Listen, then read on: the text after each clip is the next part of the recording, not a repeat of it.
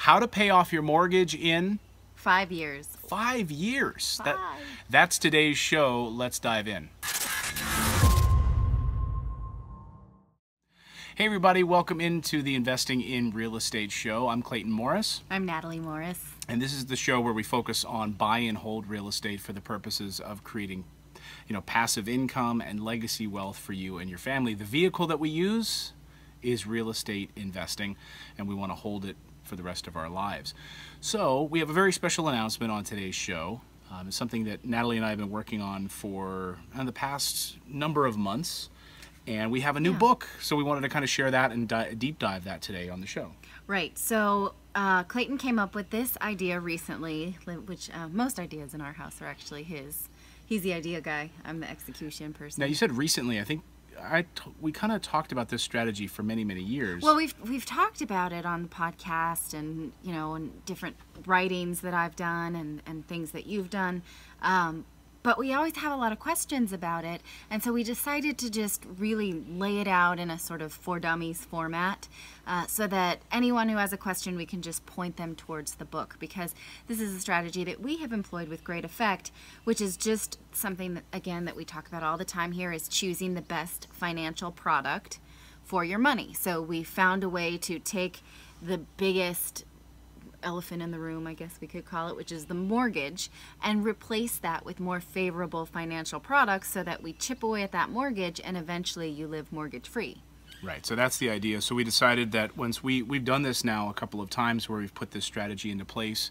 Um, I jointly because I did it a, number of years ago when I lived in Philadelphia on a condominium that I owned, which I was able to pay off huge chunks of it by using this strategy at the time. And back then, you know, banks were a lot more forgiving in the way that you could structure things. I mean, Right. I had Bank of America at the time. I was able to use them. I got a $10,000 HELOC, uh, H E L O C, home equity line of credit, and I was able to pay down my condominium very quickly. I didn't pay it off because I ended up having to move, but I paid a huge chunk of interest off. And then Natali and I Principal. principal, right. principal. And then Natali and I jointly have now done this a couple of times on a couple of different properties. In fact, I think it's why this is special right now because we are in the mountains. We're actually on a little family vacation. Mm-hmm. But this is our, our home away from home, up in the mountains, and uh, we're at a lake. And Well, it was the first home we purchased as a as a couple, and we bought it right after we got married. And so we always thought that we were going to stay in Manhattan and then have this house as like our home home away from Manhattan. We just always have a small apartment and then we would have this as our as our house. So we had committed to this mortgage very early on in our marriage. But then our son started to crawl. We were living in a small New York City apartment. We said, "Oh gosh, we need to get out of here." And we realized we could buy a home in the suburbs for the same we were paying in rent in Manhattan, which is really pathetic, but those are the going rates. it was like so- $3,800 a Thirty-eight month was our rent in Manhattan. for And a that- one-bedroom apartment. And that didn't even include our parking space. Remember in the parking garage? It was an What, additional right? We didn't even have a 500? car. It was $500 a month for the parking space. So we decided, okay, we need a car in order to get to this house in the mountains. So we had to buy a house, and then we had to buy rent for the car. So um, not only then did we have the car payment, but we also had the rent for the car. the car well. payment was high. Um, sorry, the car payment was 280 a month, Right. The the parking for the car was much cheaper. So you know, 500 a month. we- was what much More more, expensive, expensive, right. So we had this mortgage, we were comfortable with it, but then we bought a house in the suburbs of New Jersey so that we could be close to our jobs. So then we had two mortgages and two houses. We never intended for that to be the way, you know, that we were living. And so then we said, okay, how can we really chip it down, wouldn't it be great to only have one mortgage? And so we used this strategy to get rid of the mortgage here in the mountains. And then we had one mortgage, and then we said, well, wouldn't it be great to have zero mortgages? So now that's our goal is going towards having no mortgages. Now, we're not talking about mortgages on our investment properties. We've talked about mortgages on portfolio loans and mortgages on other investments that's that's separate and we we actually do work to pay down principal on those loans but And we're it, talking the strategy about would work on Definitely. investment because I actually, since we've launched the book and pre-ordered, a lot of people have asked me, would this work on investment properties? Absolutely. In fact, it would work on paying off a boat. It would work on paying off your credit cards. So, yes, but we're focused in this book primarily on uh, paying off your primary mortgage. Right. And we talk in the book about, yeah, credit card debt, auto debt, student debt, right? Because what we're trying to get you to do is use the equity that you have in your home right now, evaluate how much you can get out of it, and then use that as cash to then pay down the debt service that you've got right now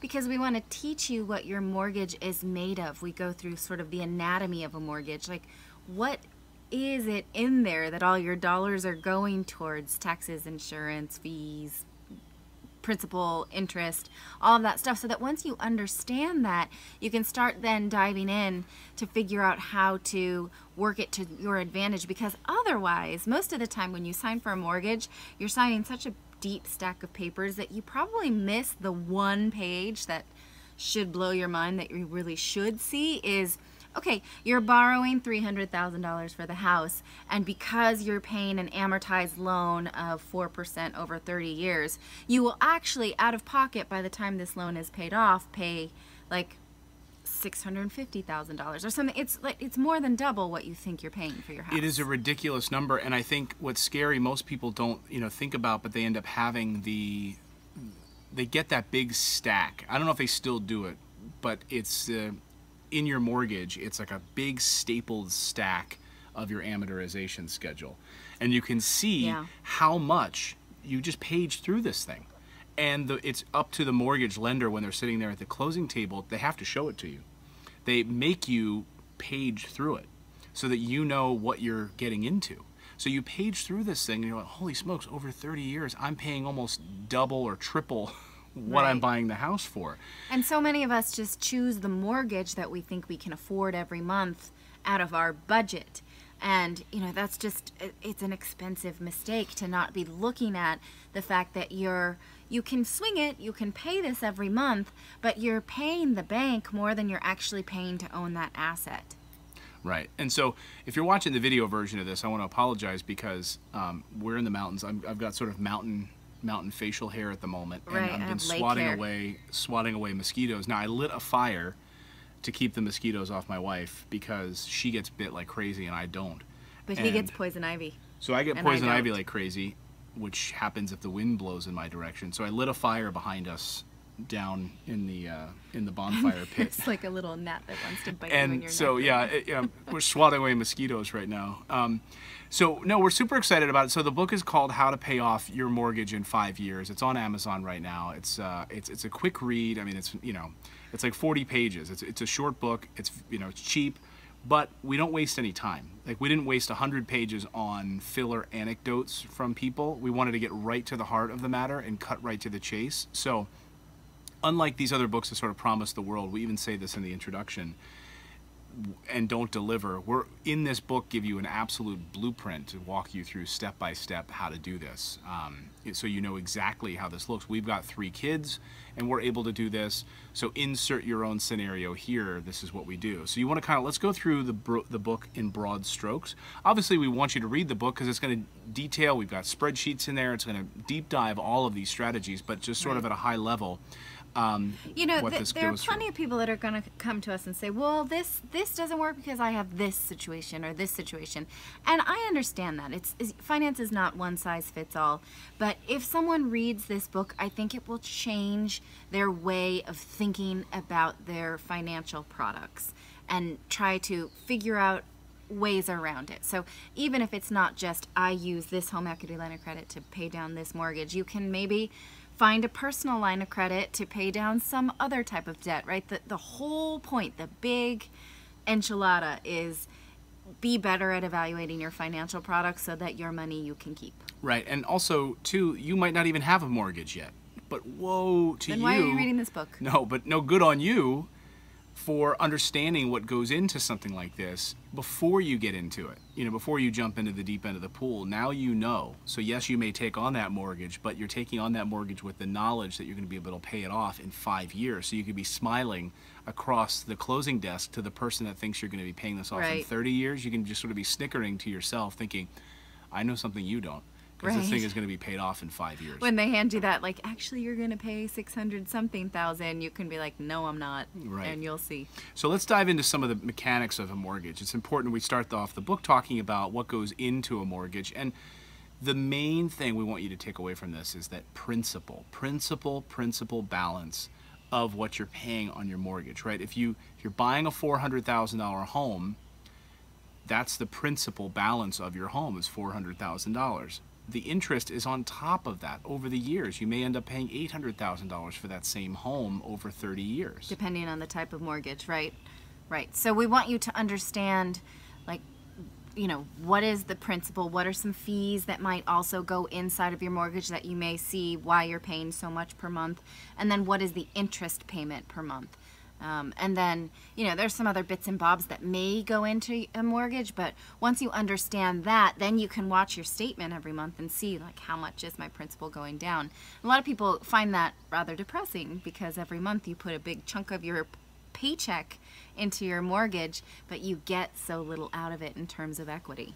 Right. So equity, of course, is what we all want in our properties eventually, right? If you follow this podcast for any length of time, you know that there are three stages of real estate investing buy, own, and cash flow. When you buy properties, you don't necessarily have a ton of equity in those properties. At a certain point, you own them, which gives you full equity in those properties, and then you get to experience the full cash flow of those properties. So the same principle really applies for your own primary residence as well, right? If you buy a $400,000 home got 100% financing, You don't own any of it, you don't, yeah, you don't have anything in that house, right? Right. Maybe with 20% down, you own some equity in that home. Now, that's the key, right? What equity do you have to work with in order to go back to your local bank and ask for a HELOC? Now, there are two types of home equity loans. There's a home equity loan, as we've talked about here on the podcast recently, right? I did a whole episode on the difference between a home equity loan and a home equity line of credit. The home equity loan is the loan that they write you a check. Let's say you have $40,000 in equity in your home, they write you a check for 40,000. You don't want that. That's nice. Because then you have a full $40,000 new lien on your house. It actually is recorded with the county. Because if you were to, like, move to Mozambique tomorrow and say, I'm not going to pay on my bills, they'd have to sell it at an auction. And then the city would get paid first because the government always takes its cut first in back taxes. Then the bank would get paid back. And then now this home equity loan would get paid back, whatever is left over. Right. So the home equity loan, it's nice, but you don't want it for this because now you have a forty thousand dollar debt, and you can only it's you can't rinse and repeat. The beauty of a HELOC is it's a line of credit like a credit card. You get a forty thousand dollar line of credit.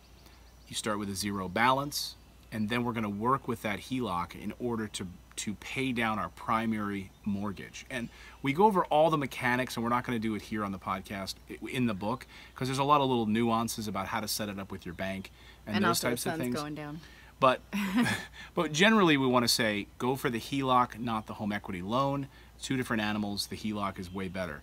Now, what you're doing is you're you're you're trading interest for time. Do you want to explain this piece of it and why a HELOC is different than your amortized mortgage that you have on your home? Okay, so some people will say to me, well, why don't I just make one extra payment per year or make one big principal payment per year? Which is great. It's a great strategy, and in the end, it may shake out to being very similar. But the reason we, we go with this with this strategy is because it forces you to put big chunks of money into your mortgage. Now, your mortgage is made up of again principal and interest. That interest it's amortized meaning that it will take more money from you based on the amount of interest and the amount of time you have left on that loan, right? So when you make a big principal payment, say $5,000, you'll see that the amount of interest that you're going to pay over the life of the loan gets slashed considerably, but also the number of payments you have now gets slashed considerably because that's what amortization is. Now, amortization is a complicated calculation, but what you just have to know is that your main enemies in your mortgage are interest and time. So if you can take big whacks at your mortgage, you're going to save so much in interest and time, more than you would if you just say kind of give another little bowl full of money, right? Right. Right. And so when we've done this, what we love to do is Natali has set up. In fact, in the book we give away the amortization calculator spreadsheet. So download the book because we have a link right there. You can download the free the free calculator, and it shows you how this works. And that's why it's so beautiful to watch because when you make one of these payments um, towards the principal balance from your HELOC, it's amazing to watch the months change. Right. So maybe you owe what is it? Maybe 220 months. I don't know how how many months are in Oh, let's see. Oh, how many months are in 30 years? I don't know. I don't 12 do- times 30. Yeah. So, okay. You're the math genius. Yeah, it's it's like 300 and some some odd pay um payment or Nevertheless, it's beautiful to watch in this calculator to watch. Suddenly, we've ch- chopped like seven or eight months right. Of payments. and this is right actually something we do all the time when i'll say okay we've saved this $5000 $10000 clayton come to my office because i keep the spreadsheet there um, you know? And i don't want to just put in that thing and see put in the you know deposit and see the interest shrink on my own because it's not my accomplishment by myself and i'm going to do a little dance in my chair and no one's there to watch. So he comes and watches it and he's like yeah and we're like high-fiving mm-hmm. because that feels amazing because it usually means that the amount of interest that we're scheduled to pay over our lifetime that will have come out of our pockets has shrunk so much with just i mean you, you'll see it with just a $5000 principal payment with just even a $1000 principal payment and it becomes so addicting that you're just going to want to take like a like a machete right A just machete, like yeah. start like whacking away at it like you're in the jungle it's it's very satisfying So yeah, in, in the book we show you an example of this amortization calendar, and it's amazing to see how much over the course of a loan you're going to pay in interest and how much you'd save. So, um, you know, it's usually like you know 15 pages long when you get that amortization schedule from your bank when you're at the closing table. So to slash that is going to be fantastic. But then you have to take the responsibility to keep your own amortization schedule because you can't just like take what the bank gives you and then write in like, oh, this month on payment number 13, I, I put more. That's not going to change the numbers on the paper, right? You've got to keep that live so you're keeping track of what you have paid for and what you've paid down um, be- because it's too complicated. I, I didn't really know this um, before we started doing this and i thought well maybe online i can go to bankrate and you can sort of you can say you know i have this loan. It started on this date and it's for these many months and it's for this interest rate and i put this much more towards principal. But then you can't account for that maybe six months later you put this much more towards principal and then six months later you did the same thing um, so you have to track this yourself and and the best way i've found to do that is an excel spreadsheet because excel can do amortization really well in a way that like an online software as a service cannot Right. So, bottom line is we care much less about the monthly payment and how much you know that payment is than we care about the principal pay down of that. So, and it also changes how your taxes and insurance will change your monthly payment. Do you want to talk about this? Because we wrote this out in the book as well. How taxes and insurance change your monthly payments. Um, right. Again, this goes into the anatomy of your mortgage. So you may have had to bundle a tax and insurance payment into your mortgage. Sometimes the bank requires that. If they don't require it, you really shouldn't do it because they pad that account and then you're just letting more money come out of your paycheck every month in order for the bank to keep a certain amount of money in escrow. Whereas you could be keeping that in some kind of interest bearing account do more with that money and then make those payments on your own and then maybe you'll have something left over to put to principal. Meanwhile that money is at, work for the bank not you. So yes we have a, a, sec- a section about that as well. So another thing we want to say, you know, obviously we're talking about playing interest like a master, and that's really what this whole this whole strategy does is you, you know playing playing the interest card. That's where the HELOC comes in. So if you have that forty thousand dollar HELOC, you want to put that mm-hmm. on your hundred and fifty thousand dollars that you still owe the bank. All of that goes towards principal, right? So that forty thousand dollar HELOC, funnel that right to your principal balance. You owe one hundred and fifty thousand. Guess what? Now you owe one hundred and ten. And then because you're making these small payments per month back to your HELOC, which we go over in the book on how to do that, then it never really accrues the interest that you think it will by having those multiple small payments per month coming out of your paycheck, which we again talk about in the book. And you're trading that system, those two types of interest, those two types of bank products that Natali talks about all the time, one for the other. And in this scenario, one is better than the other for paying all of this back. So Now, sometimes, you know, we have people say, well, what about just you have the introductory HELOC rate, which is awesome, but when it adjusts to a market rate, then what? Well, then you've got more equity in your home and you go shopping for a new one. Sometimes your bank will let you re up it. Sometimes they'll say, no, we're not going to do that. You're going to, you know, these are the rates we offer. That's fine there. You know, if you have good credit and you've been making those payments and now you're an awesome real estate investor too and you have more equity in that home and you know hopefully market conditions are fairly stable uh, then you can take that equity that belongs to you and shop it to another bank because another bank believe me wants to lend you on that money Right. And that's what we recently had to do, right? Our HELOC went from an introductory rate of 1.9% with a local bank that we used, and it jumped up to, 4.25 yeah. And, and so, i said homie don't play that so we went shopping. Yeah. And you know what? We're going to get another one that's going to give us another either greater rate or something. But we're going to find, and that's why we talk about in the book how to shop local. A lot of, um, I I spoke to an investor today that said she had done this exact same strategy. She got a HELOC. She's paying paying off the principal balance. I love that. She's also buying rental properties with her HELOC.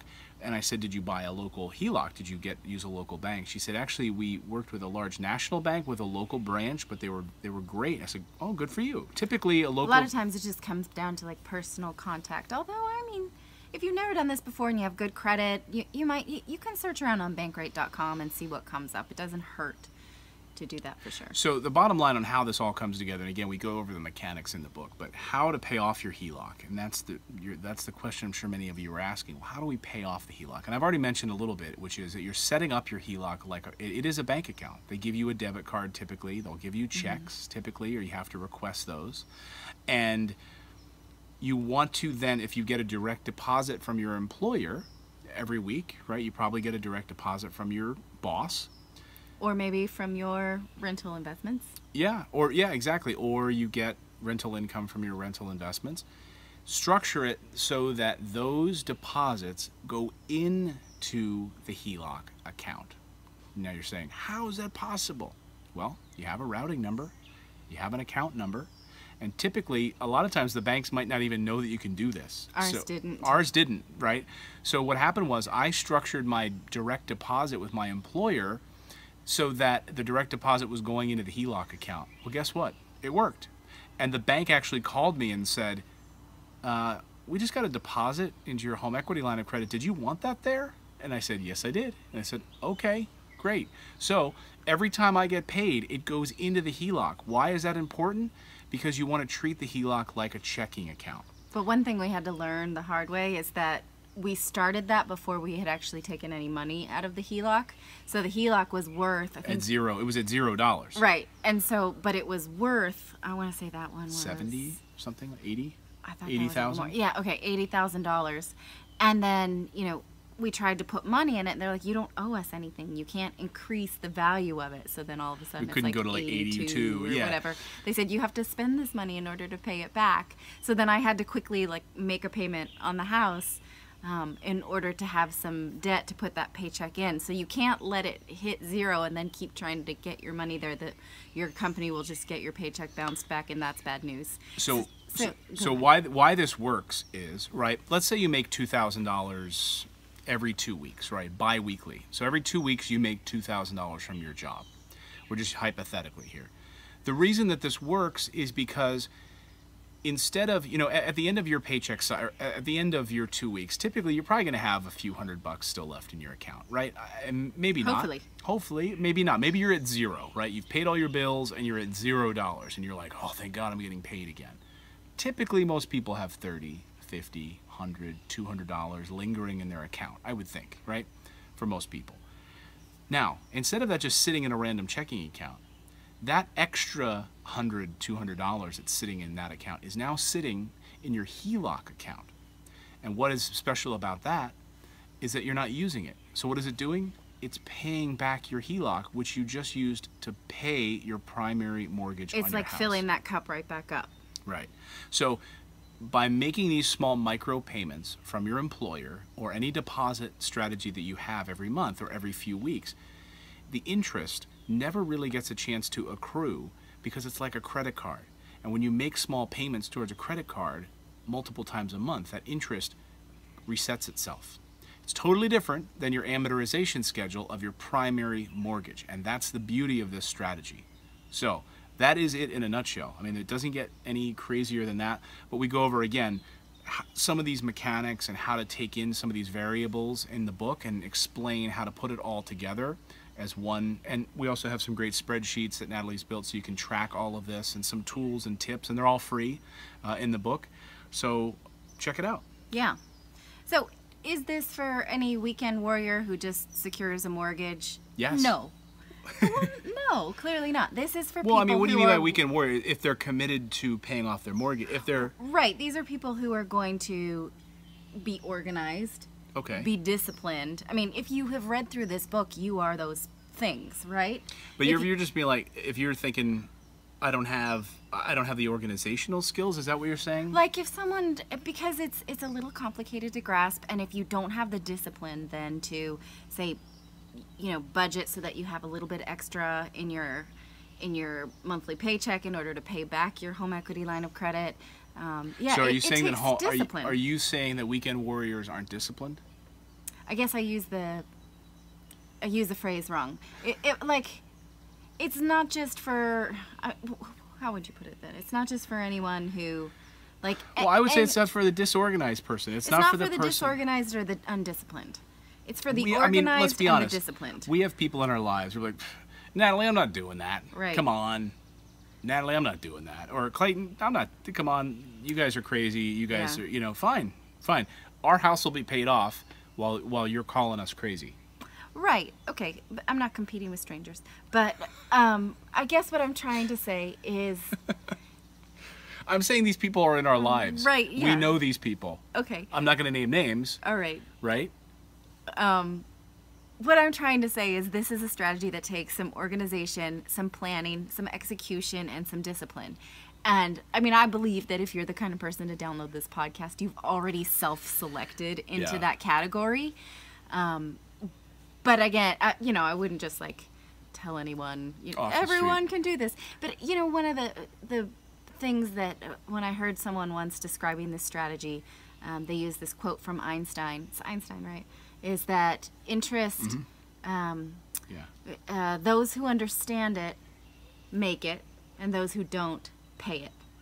That's an eloquent way of summarizing. I, I'm paraphrasing from Einstein. Um, Einstein was a weekend warrior. So, I don't think so. so disorganized.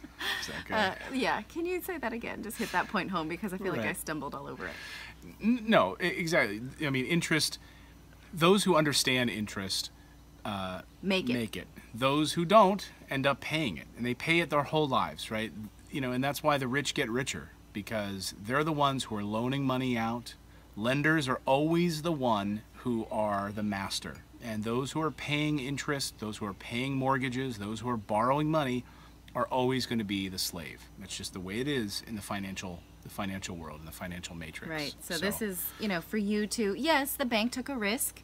They lent you some money that they may not give back or that, that they may not get back so that you get to live in this mountain house, right? We appreciate that.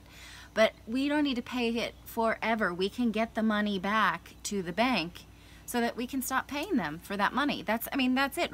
We agreed to borrow from you $200,000 so we can live in this house. And the quicker we pay you back that $200,000, the less time we have to pay you for that loan. That's that's just all it, there is to it. Yeah. So please go check out the book. We hope you will uh, leave us a kind review. We worked hard on it. It's a short read, it's a fast read. We hopefully didn't put any fluff in there. We wanted to get right to the heart of the matter. So just go to Amazon, look for it. We've got a paperback version also in case you don't have a Kindle or an iPad to read it on. So the paperback version is also uh, now available as well. Um, but the digital. We only accept five star reviews, just Yeah, like on iTunes. Yeah, please, Anything less than that, review. and we will slap you silly. No, we've got a lot of very kind reviews on there so far. So please, uh, if you'd be so kind as to leave us a kind review, we would really appreciate it. I have a So, mosquito in my so there's mosquitoes landing on my wife. The fire must be out. And that's going to be a wrap for today's show. So thanks so much for checking us out. If you want to visit our website, also head on over to morrisinvest.com and check out all of the great resources we have over there as well. Links to the book and everything will be there as well. So check it out. The book is called How to Pay Off Your Mortgage in Five Years using the secret weapon that banks don't want you to know about to slash your mortgage. So check it out, everyone. We'll see you next time on the Investing in Real Estate show. Now go out there, take action, become a real estate investor, and pay off your mortgage fast. Much love to you all. Bye bye.